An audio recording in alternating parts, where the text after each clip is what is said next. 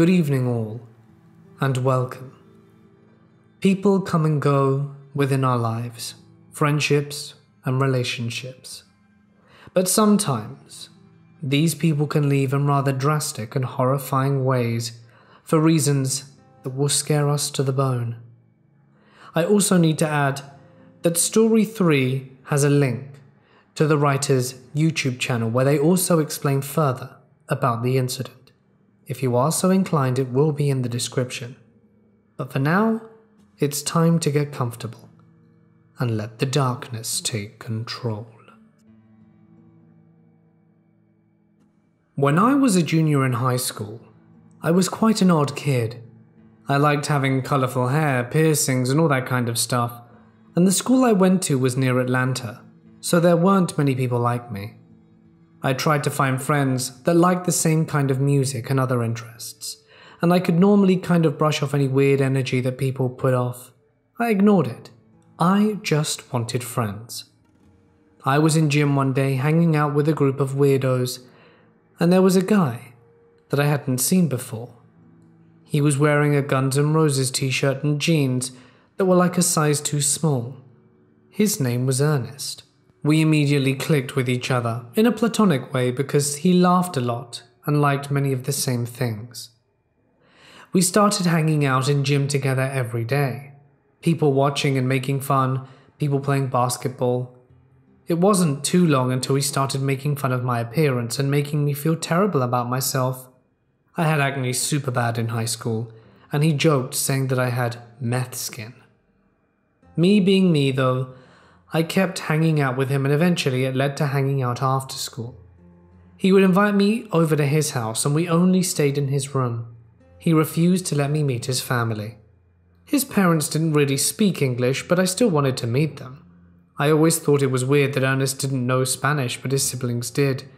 And when he could always speak words that sounded Russian. He pretty much only played It's Always Sunny in Philadelphia on TV and rammed about superheroes and would always come up with these strange scenarios where he was an evil villain and how much power he would have. Fast forward, I get a job at a pizza place. Ernest gets the same job at this pizza place, so inevitably we're working together now. He pretty much never lets me out of his grasp. It got to a point where he took me to school every day in his PT Cruiser, which I still get chills about when I see one of those shoe shaped cars. We started skipping school a lot. I mean, we pretty much went to school about two or three times a week. And this is where things start to suck pretty bad. He started pressuring me to sleep with him and to do things of that nature. I didn't really want to get into details because it's quite disturbing, but he manipulated the situation in such a way that I felt like we were in a relationship because I thought I needed him. He really convinced me that we were a couple, but I was so repulsed by him that I never could fully accept it. He started telling our other friends that he'd slept with me and that we were in a relationship. I denied it all, and to this day I deny it. I've lied to my therapist, to my friends, but right now I'm admitting it. At one point, he ended up living with me and my family in the same room as me. He had convinced my entire family that he was gay so that he could live with me. He literally dressed all up in pink, but a scarf around his neck and pranced around my aunt trying to win her over with his fake personality. I was so used to living in chaos that this was barely a problem for me. During all of this, he was such a rude piece of crap to me. I remember asking him for a ride one day, and he said no for no good reason. I started getting really mad because he couldn't give me a reason, he just kept smirking at me. He did this kind of thing frequently. We were sitting in the living room and he silently got up and drove off somewhere came back, walked to the living room doorway, stared at me for 15 seconds, and walked into my room. I hear a bunch of rustling, so I storm in there thinking he's doing something sketchy. He's gotten completely dressed into his sleep pants, with a hand in his pocket that he wouldn't take out of his pocket, and at this point I'm scared. I force my hand into his pocket, and he pulls out a weapon. Fast forward again. I'm at my best friend Kayla's birthday party and everyone is camping in the backyard. Ernest hated Kayla because she was always a way out for me. In his perspective, she's got it in for us. I'm sweating just remembering this because it's probably one of the scariest things that's ever happened to me. I had made it clear to Ernest at this point that we were not a thing and that he needed to let go of the fantasy. I had a crush on a boy named John and we slept in the same tent together. Morning comes and I hear Ernest outside asking people if they knew where I was. Someone said that I was in the tent with John. I was scared. Immediately, I knew something bad was going to happen. The tent rips open. I don't have a shirt on, and he begins screaming as loudly as he can, cursing at us, and just being an absolute piece of filth, and then storms off after his fit. He goes to his car and calls me and tells me, Get to the car now. Everyone there was freaked out, and Kayla advised me not to go to the car because she knew how scary he was as a person. I didn't want anyone to be uncomfortable, so I figured that if I went to the car, I could ease everyone just a little bit, that he wasn't there. I went, and as soon as the door closed, we sped off. Fast, really fast. I look over at him, wide eyed, and he is scream crying with absolutely no expression on his face. Tears streaming but emotionless. You were supposed to love me, is what he said over and over again. He starts speeding faster and said, If I can't have you, no one can. I'm actively having a straight up panic attack in the passenger seat. I can't hear because my ears are ringing, and I can't see a thing. Meanwhile, Kayla has already called my mum, and somehow my mum left the house fast enough to track us down in that PT Cruiser. He parks at a church, and my mum is watching us. Ernest has a box cutter at his side. I get a call from my mum. I can't remember what she said, but I knew it was something along the lines of, I'm gonna slit your throat, to Ernest. He started coming to his senses. If I can even call it that. He drops me back off at Kayla's and tells me that he's going to end himself after he drops me off. Kayla and I were frantically trying to call his parents about a possible imminent attempt, however, they couldn't speak English. He called the police on himself because he thought he was going to harm himself or someone else. He was gone for a few weeks, then came back. He was parked outside school waiting for me to come out. He runs up to me and I noticed that he had a plaid button up shirt that was tucked into his pants, which was just extremely odd for me, and I knew immediately that this was a fake personality. He was speaking differently as well, almost like a few weeks had turned him into a saint. It wasn't long after that I had admitted myself to a mental institution because I just kept breaking down. Everyone in the groups told me to get rid of him, and I'd not realized how serious this was until I saw everyone's reaction to the stories. There are so many stories of this psycho, but I can't even express them all. I did get rid of him. I found new friends, and without them, I don't know if I would have been able to overcome this. I haven't seen or spoken to him in three years, and hope to never see him again. I'm a 24 year old female, and this happened last year when I was visiting my mum. My neighborhood is known for being safe, or at least that's what my family thought. We've got problems with neighbors on both sides of our house, we live in a small town that has been growing due to the university that was built here. My mum lives across the street from the uni as she teaches there. Our house has two floors and my room is on the second floor. The window is right on the front of our house, so you can see the street from it. Every night around midnight, when I was going to sleep, I heard my dogs barking and growling. Whenever I went to the windows to see why are they barking, I couldn't see anything. There are a lot of trees and bushes in front of my house, so maybe that's what they were barking at, something hiding there. This went on for at least a week, and it was always at midnight. This night I was having trouble sleeping, so I was video chatting with my boyfriend at midnight. My dogs were barking like crazy. I was sitting in the front of my window and couldn't see anything unusual, but I felt this strange vibe like I was about to discover what was hiding on my front yard and scaring my dogs. I turn off the lights and stay still, watching the streets from a place that no one outside could see me from. My boyfriend was still chatting with me, saying that perhaps it was a fox or a raccoon, as there's a lot of wildlife near where my mum lives. I stayed there for a while. My boyfriend went to sleep, but I kept looking out the window. It was only 1:30 when I see something moving from the bushes. A man wearing all black crouched right beside them. My body froze and I didn't call my mum to see it. I've already told her about my dogs going crazy in our front yard at the same time every night, But like my boyfriend, she said it was an animal. So I was there looking at him, and he couldn't see me. He started moving, but still was bent over so no one could see him. But as I was on the second floor, I could see him just fine. He crawled with his back right next to our fence until he reached the neighbor's gate. Right inside that gate, his car was parked. What happened next was really fast. He lit up a Molotov cocktail and tossed it in the car. The car went up in flames like crazy, and I finally called my mum to see what was happening. He ran away like a feral cat so fast down the street, and my mum called the police and the fire department. When they got there, the man was long gone. The next day, my mum got a call from the police officer that came the night before, telling him that they arrested the man that did it. He was trying to convince his ex wife, who was our neighbor, to get back at him. He said he would do the worst things to her if she didn't get back with him, and after that, she moved out in a week.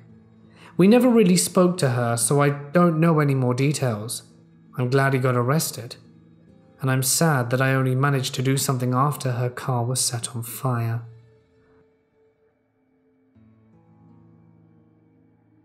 I am a 22 year old female. I met this girl called Brittany in preschool. We were three and four respectively, with me being the older one. We became friends instantly. We had similar stories. Both of us had issues with our fathers and lived with our divorced mothers.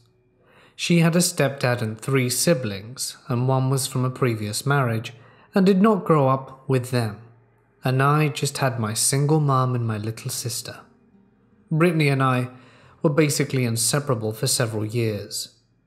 All through elementary school, we played every single day together and had slumber parties and even went to each other's birthday parties each year. It was like Katie and Sadie from Total Drama Island, almost exactly like them, and every bit as annoying.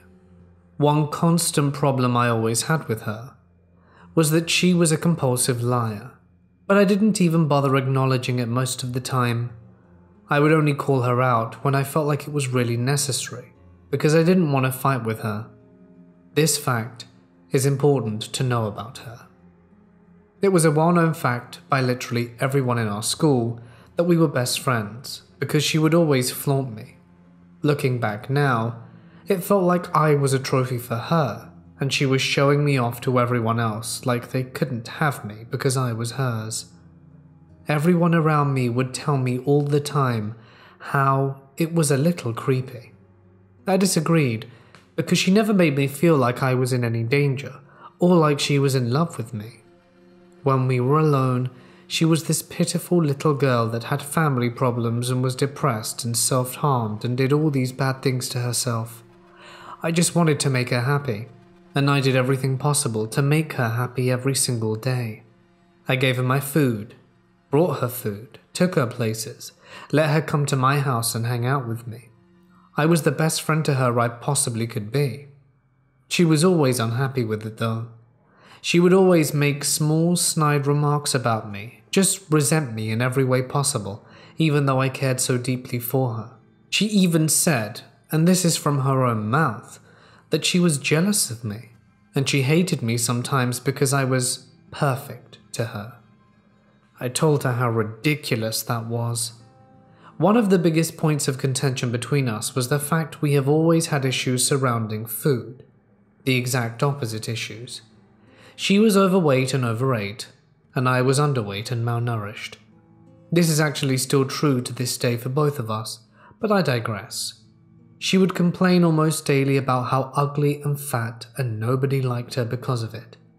But it was almost like a performance because of how rehearsed and empty it was. It was almost routine for us to have these conversations, where I would build her up in every way possible and literally spend hours texting her about how amazing she was. And she would get angry with me because I wasn't agreeing with her, and fought with me because I couldn't just let her be sad. She had friends aside from me, but she didn't care about them. She was focused on me completely. She would talk about how she was sucking out my soul all the time. Of course, she'd be passing it off as a joke, but the truth is she knew exactly what she was doing. Because she was a completely different person when I wasn't around. I had other friends tell me that when I wasn't around, Brittany was not happy and bubbly, how she was with me most of the time, especially in front of a lot of the people that we knew, and was kind of putting on a performance for the crowd. Nor was she moody nor sad, which is how she often acted around me and alone. She was just mean. She was creepy. She would stare people down if they tried to walk up to me and talk to me, but she made sure I never saw that. She would tell other people how I was talking crap about them, but yet I never did. She loved to pick fights with me, and whenever she did, she would always go to one of our friends bad mouthing me about it, telling them I was terrible for doing XYZ and that she hated me and never wanted to see my ugly mug again. She was constantly berating me for something, even if it was something small like insulting what I was wearing that day, or observing out loud I had a very large zit on my face trying to embarrass me. Very childish stuff. This went on throughout high school. But I'm getting ahead of myself. The turning point in our relationship happened in 8th grade. This year was when she began losing her grip she blamed it on the fact that she was not in the same pod, which is a group of classes and teachers, that I was in that year. She, in fact, made such a fuss about it that halfway through the year she claimed that she needed specifically to be in more classes with me because of her home life, and she told the school I was her only friend and that I could help. So the school switched her schedule around and put us in almost every single class together. One day, I was spending the night at her house, and she was showing me this role playing game called Corpse Party. If you've not seen, read, or played it, it's a pretty cool game. However, that night turned into something completely abnormal from what we usually did. She was showing me the anime for Corpse Party, and getting to the scene where, spoiler alert, Naomi finds Seiko in the bathroom. Brittany got very excited at this part and told me about how it's her favourite part of the whole story because of the tragedy involved. You see, Naomi is possessed and blacks out, out of control and unaware of her actions, and the fact that Naomi and Seiko were best friends. When Brittany showed me this, she told me, I want to do this to you. For a bit of context, Seiko was actually found with a noose around her neck, in the bathroom, hanging. It was at this point that she said to me, I want to do this to you, too. She told me she wanted to end my life. At that moment, I wasn't scared and didn't know what to say, but it wasn't because I thought my life was actually in danger. I was scared because I thought there was genuinely something wrong with my dear friend, and I wanted to help her. I spent that night listening to her vent and unload everything she needed to and comforted her after she said that to me because I saw it as a cry for help. That was the very first time I really felt off about her. Sure, she was annoying a lot of the time with her bratty tantrums and spats and fights over nothing, but those were all forgivable because I still loved her and didn't care.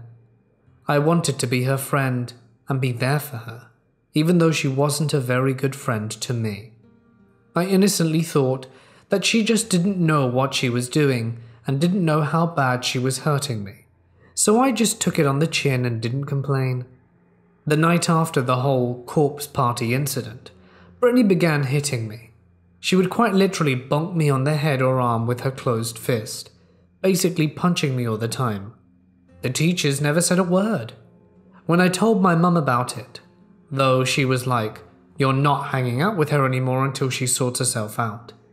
I listened to her, not because she was mum and I did what I was told though. I was a sneaky little brat, and if I still wanted to talk to Brittany, I would have. But I was glad she said that, because that meant I didn't have to make that decision by myself. Brittany was so upset, but not in the way you'd expect, since we were in almost every single class together. She was still around me every day. She fought with me all the time and said, We're not friends anymore, like a child. A lot. But this was different because I was actively ignoring her and not speaking to her at all. This lasted for around a month. every single day she would cycle between being absolutely furious and staring holes in the back of my head to trying to look really, really overly sad, to the point where other people in class said something to her. She wasn't satisfied with the attention though, she wanted mine and made that obvious. One day after school, we're still not talking. I was in the car ride home with my mum and sister when I got a call. It was Brittany.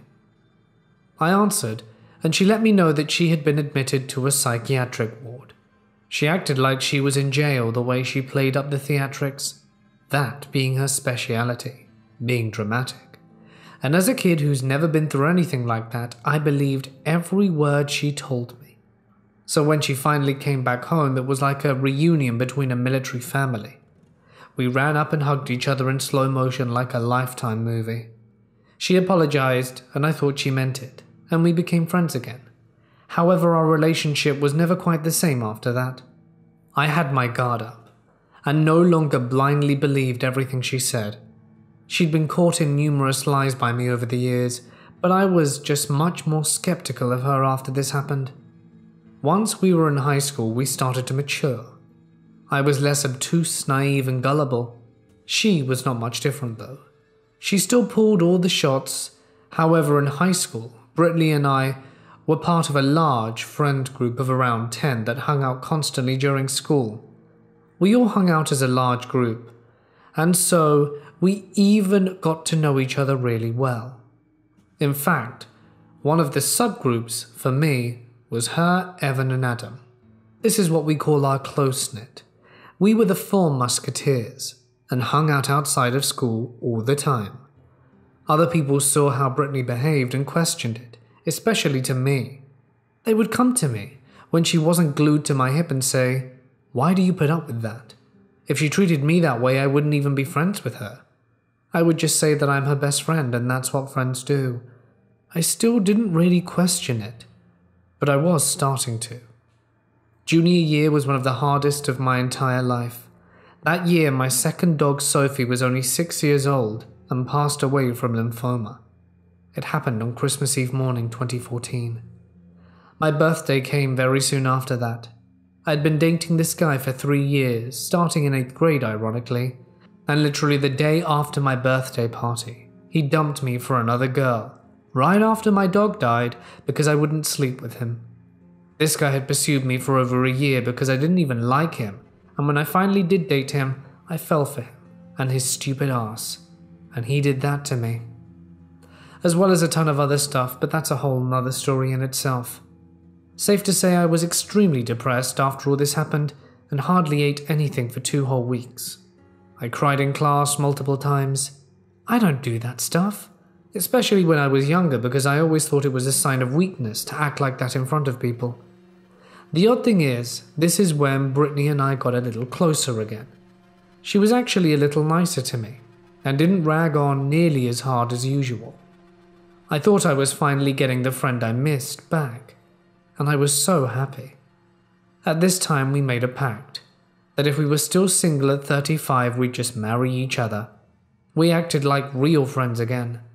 However, after nine months, I started dating someone that we'd known since kindergarten one of the boys that were part of our close knit. Evan. Brittany was not happy about this. She told me I completely ruined the whole friend group and that I was so selfish and that I didn't care about her. This guy had been in love with me since we met. We dated once in seventh grade, and he was the nicest guy I'd ever met. But I was actually scared of a healthy relationship, so I didn't stay with him. I didn't know that's why I broke up with him at the time. I just thought I didn't like him.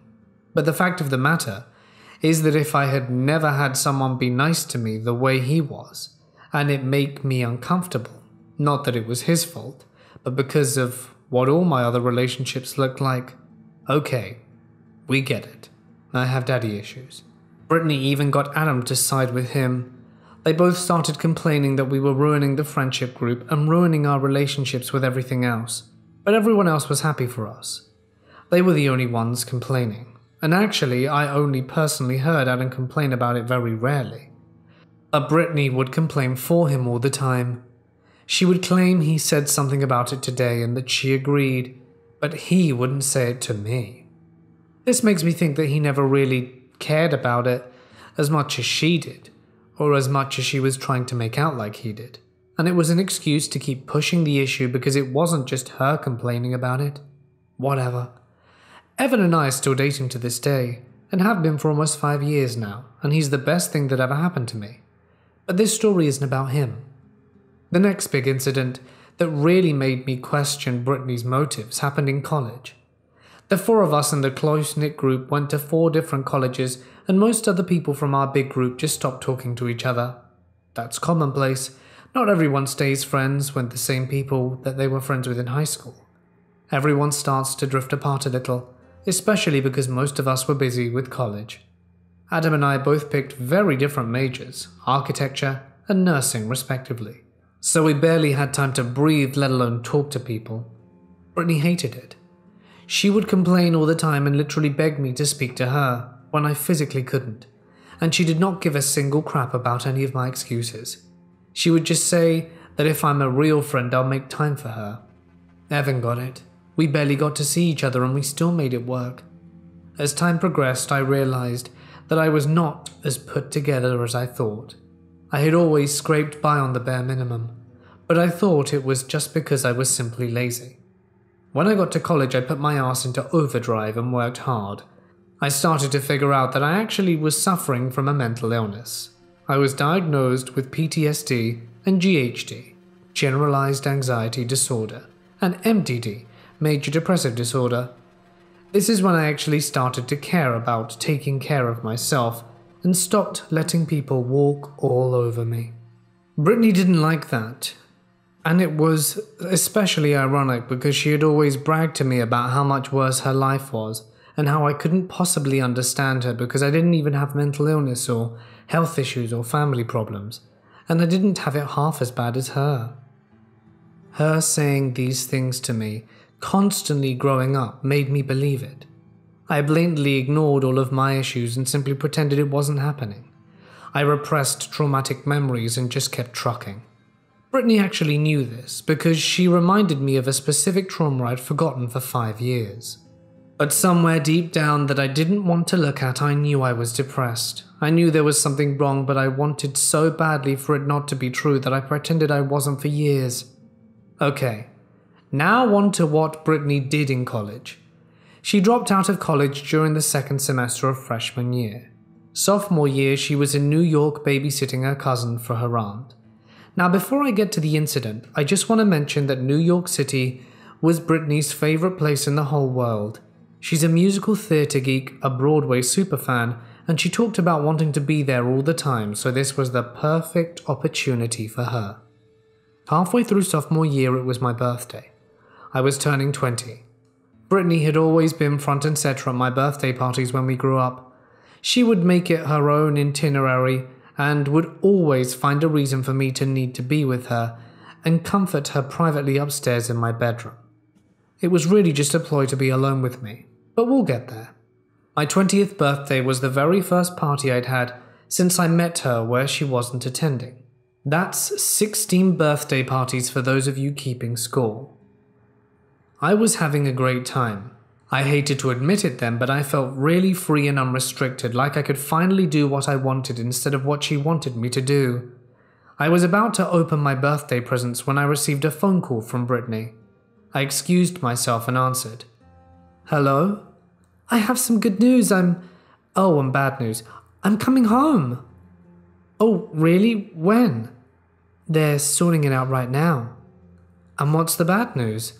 Well, the bad news is the reason I'm coming back. What happened? Well, I may have swallowed a whole bottle of pills and got caught throwing them up by my little cousin. Why did you do that? What happened? Nothing happened. It was literally just a joke. I wasn't even planning on actually going through with anything at all.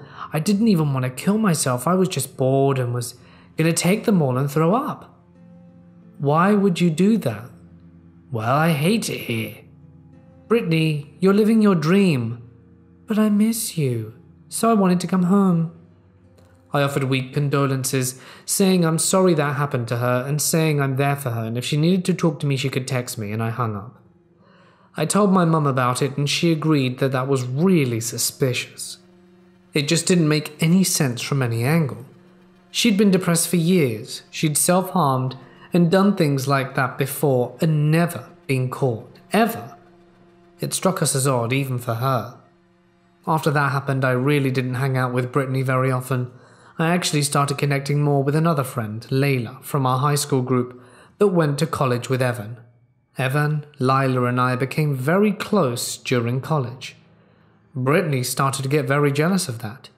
Right before my 21st birthday, she began texting me, wanting to ask about my plans, initiating the conversation by showing me a picture from our fifth grade talent show and her recent car crash injuries for sympathy.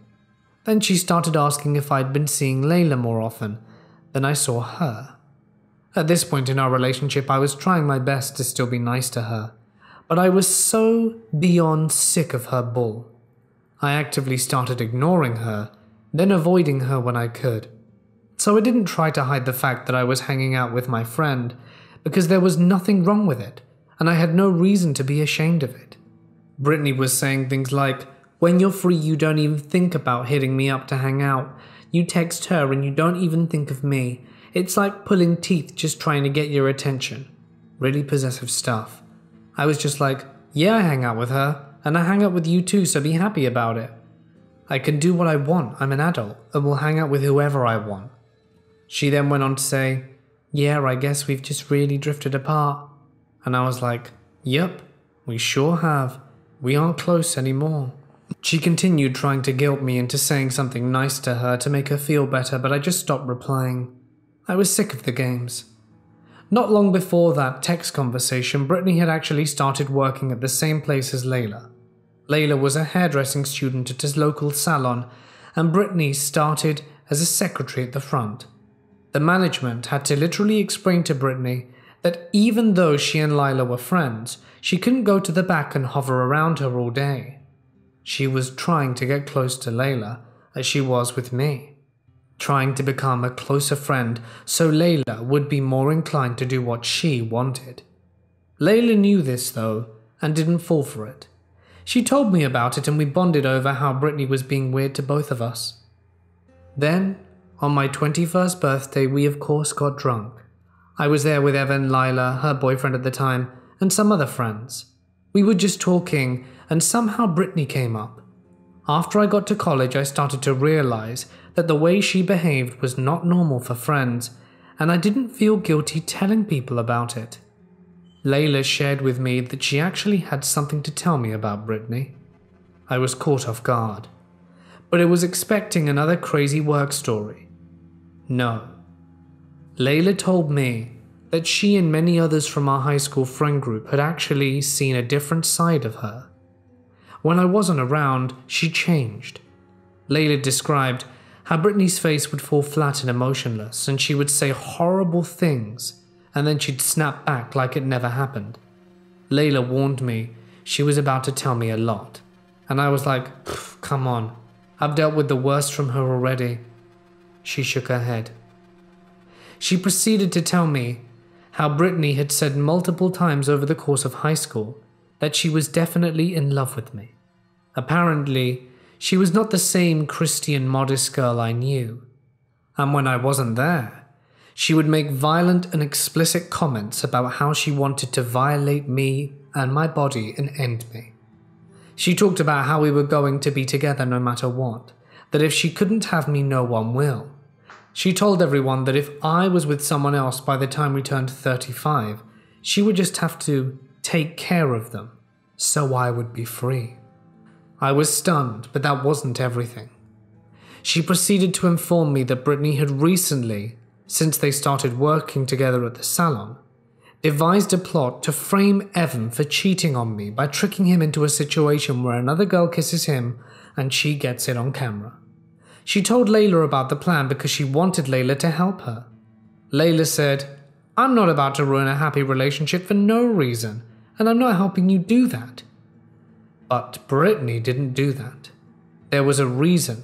Layla even told me this in the first place. because Brittany was still doing it years later. This was the final straw for me. I resolved myself to the fact that Brittany was not a friend to me and was actually a danger to me. Someone who I had grown up with, literally done everything for, for nearly two decades. Almost my whole life in childhood. Someone who I trusted and did everything to please and take care of and make happy. Hell, we held hands as we walked up to the auditorium to get our diplomas when we graduated high school. That is how public our friendship was. We literally made sure everyone knew that we were best friends. I decided that I had to cut her off once and for all. So, what I decided to do was hang out with her one last time, have a final good memory with her, and then talk to her alone and confront her. Evan was there with me as I planned this out, and he was scared for my safety. I decided to take her to the local park, as even at night it's heavily patrolled by police and well lit. I also had my mace, as well as a weapon on me. My heart was pounding the entire time from the second I saw her that night, and I felt sick to my stomach. It was like being a very small child and realizing for the very first time that the Easter Bunny at the mall was just some guy in a suit. It was like my whole life was a lie. I drove her out to the park and we sang musical theatre songs together like we always did and then I finally mustered up the courage to say it. I confronted her about all the stuff she'd done to me over the years. Everything. She apologized for the majority of it because she knew she was mean to me. She knew she was abusing me. She admitted so much, saying from her own words that nobody deserved to go through what she put me through.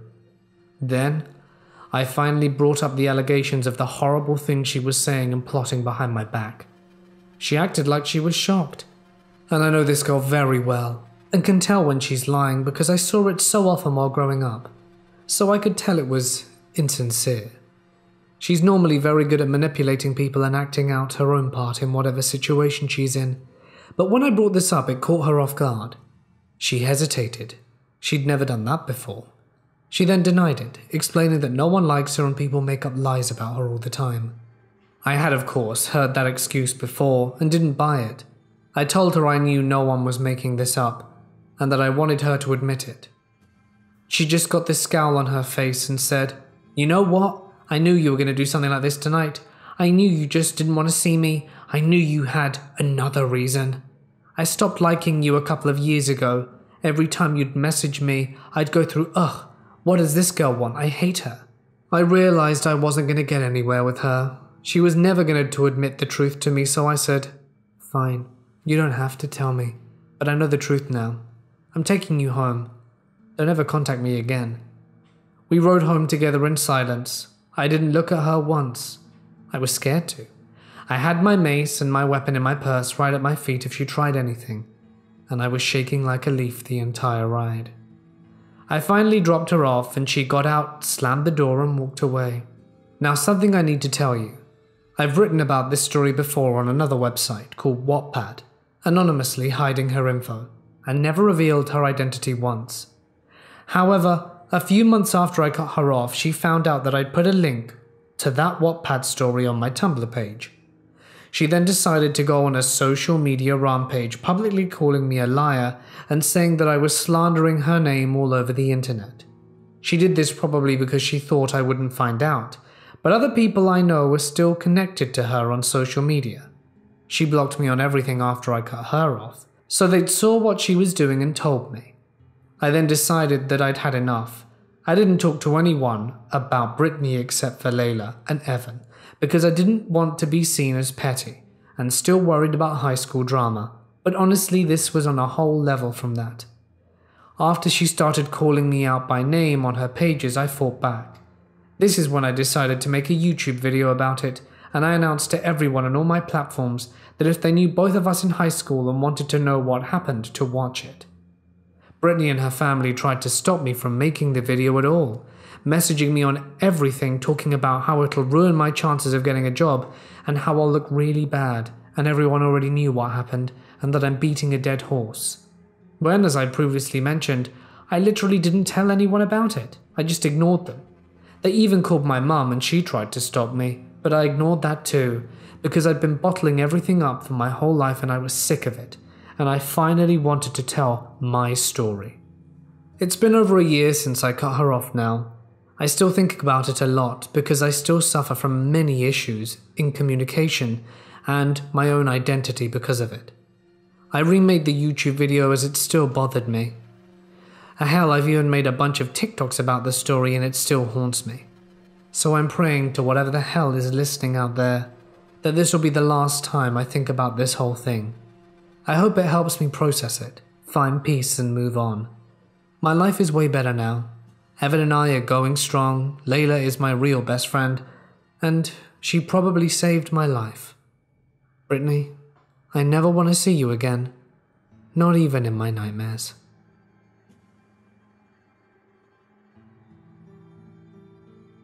My ex JJ was a creep. I was with him for 19 months, and this happened around two months into the relationship. Just as he was starting to get controlling, and it terrified me. It was 2 am and I was in bed.